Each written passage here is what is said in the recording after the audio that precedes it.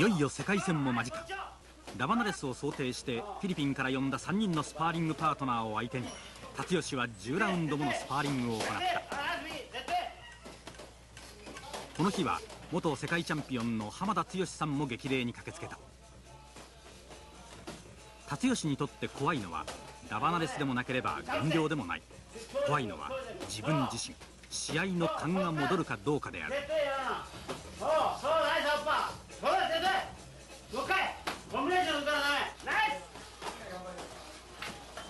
この10ラウンドものスパーリングで辰吉は1年のブランクを補おうとしているのだ。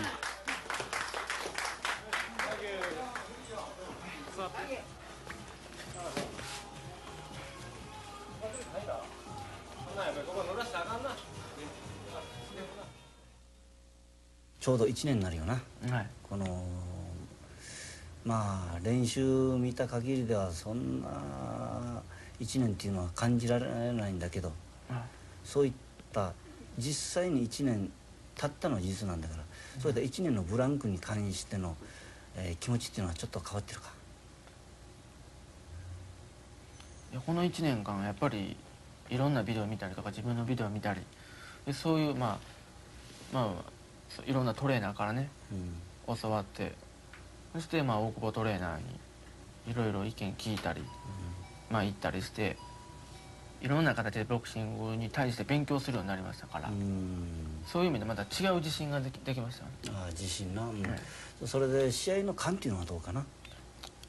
まだあの僕の体は全部覚えてますから去年と、まあ、それよりまあずっと1年間練習してきましたから感覚はもうずれてないですけど。うん。まあちょうどあのタイトル取った瞬間まあ飛び上がったよな、はい。うん、その時まあ俺なんか解説席先にいて「ああやってくれたなあお疲れ様っていう気分になったんだけどあの時の気持ちっていうのは？まあそれ以前にまあまあ親父との約束を果たしたいうことが、うん、それがすごい嬉しかったですね。あの時と今ちょっと違うところっていうのは子供できたよな、はい、だからそういうところで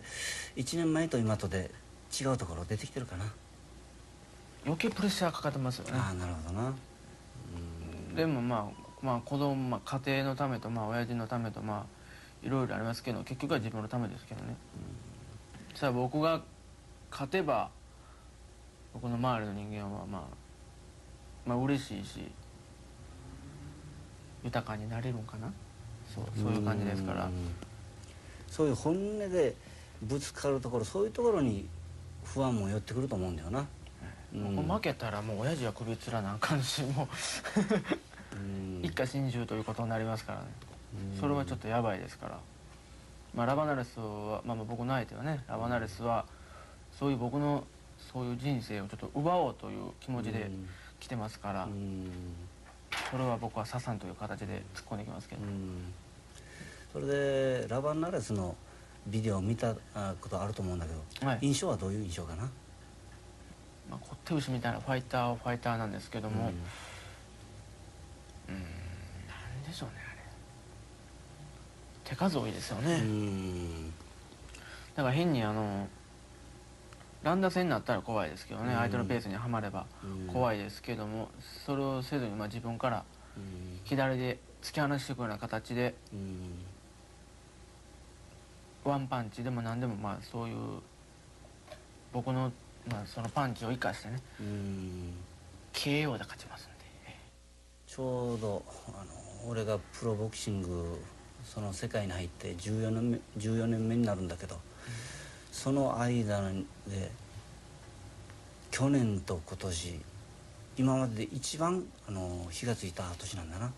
それも火つけたっていうのはもちろんあの達しなんだけどな。それであのー、その後にまあ陽花なり鬼塚なりチャンピオンを取っていったよな、はい、その時に自分はあのー、試合はできなかった。試合はできなくてそういった気持ち的に焦りはなかったかな、焦り焦りというか自分も試合がしたいないう気持ちになったんなるほどな。じゃあやっぱり焦るっていうのは歯がゆい気持ちになったんだな。やりたくてもできないとそうですけどまあある程度開き直って、まあ、この、こういう時はもう練習しかないねんなとう思っんて、今はまあ試合をせんと練習をしとけと、うん。まあ、神様かなんかが言ってんじゃないだろうかと、うん。そういうふうにこう回して。うん。まあ確かに達人は強い。強いんだけどその力本物なのかどうなのかっていうあのいう感じで一般のファンを見るファンもいると思うんだな、そういう気持ちに対して今度は証明する時でもあると思うんだよ、うん。うん、そういう意気込みっていうのは、えーどういうところに出るかな。まあ、そういう僕のその、まあ、実力を、まあ、例えばとこうひょっとしてまあこれぐらいのレベルじゃないんかと、まあ、見てるとしたらまあ僕はまあそれそれではないと。もうこれぐらいのもう人が考えられへんぐらいの実力を作って試合でまたなおかつあの面白い試合をやりたいんですけどね。やっぱ面白いっていうのはやっぱりいろいろあると思うんだけど自分に納得しする試合が面白いのかお客さんを引きつけるのが面白いのか。それが面白いですよやっぱりプロおですから客を沸かすような。うんそう本当のやっぱりスタースターの選手の言う言葉だな。自己満足してもうん。しょうがないような気がするんですけどね、自己自分で満足しても周りがブツブツ言われたらうん。こっちもだんだん無性に腹立ってくるしね、うやっんぱりこう見てる客とかもやっぱりお金払って見に来てくれてるわけですからね。僕らプロでそれでもらお金もらってるわけですから、うん。もう例えばこう金をドブに捨てたような気持ちで見ても、面白かったというような、うんあれはいいとかいうような感じでまあねあの、うんまあ、サラリーマンとかがね、うん。まあ、見ていただいても、まあ、僕の試合のあくる日はもう辰吉の話題で盛り上がると、うん。そういうふうにやりたいですよね。まあ今度ラバナレス強敵だと思うんだけどはい。どういう試合したいかな？まあ、ガチャガチャと打ち合いになるのではなくてねあのまあまあ黒人さんが見ても素人さんが見てもそのテクニックのね、こいつひょっとしてうまいに違うんかと。うん。辰吉はうまいないうのも見てもらいたいし反面強いなと。あとは面白いなと。うん。そそれでその勝負勝負どころっていうのはズバリ KO 判定。あとどこで勝負するのか。そういうのはもう頭入ってるか。ええ大体何ラウンドぐらいにこう仕掛けていってうん。倒すというパターンはうん。もう作ってますけど、差し支えなかったらこれ小細工するあの選手でもないからな達夫氏はな。うん小細工する方じゃないから差し支えなかったら言ってもらえるか。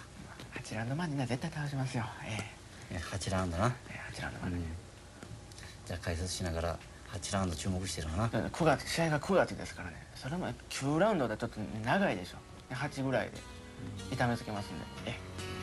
見といてください。